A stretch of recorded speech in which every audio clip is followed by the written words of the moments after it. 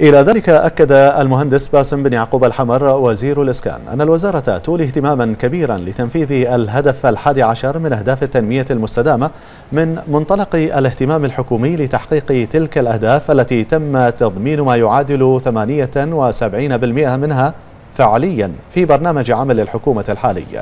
جاء ذلك لدى مشاركة وزير الإسكان في الحلقة النقاشية التي عقدت بمقر الأمم المتحدة لمتابعة مستجدات تنفيذ أهداف التنمية المستدامة للدول الأعضاء التي نظمها برنامج الأمم المتحدة للمستوطنات البشرية. والتي جاءت تحت عنوان معا من أجل مدن شاملة ومستوطنات بشرية آمنة.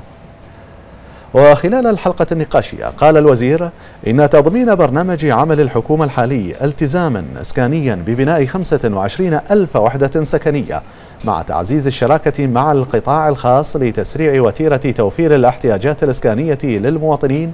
كان له بالغ الأثر في تحقيق نقلة نوعية في الملف الإسكاني في المملكة أسفر عن توزيع أكثر من 15 ألف وحدة سكنية في غضون السنوات الأربع الماضية مشيرا إلى أن برنامج عمل الحكومة المقبل سيتضمن أيضا توفير المزيد من الوحدات ضمن المساعي الحكومية لتنفيذ أمر حضرة صاحب الجلالة الملك المفدى لبناء 40 ألف وحدة سكنية.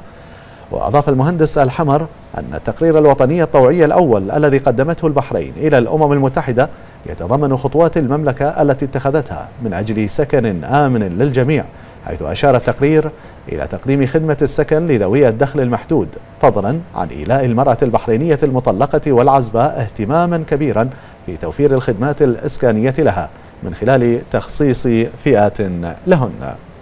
وفاد الوزير خلال النقاش إلى أن ما تحقق من إنجازات إسكانية خلال السنوات القليلة الماضية كان دافعا للوزارة لإجراء مزيدا من الدراسات والمراجعات للسياسات الإسكانية المعمول بها في المملكة حيث أبرمت الوزارة وثيقة تعاون مع المكتب الإنمائي للأمم المتحدة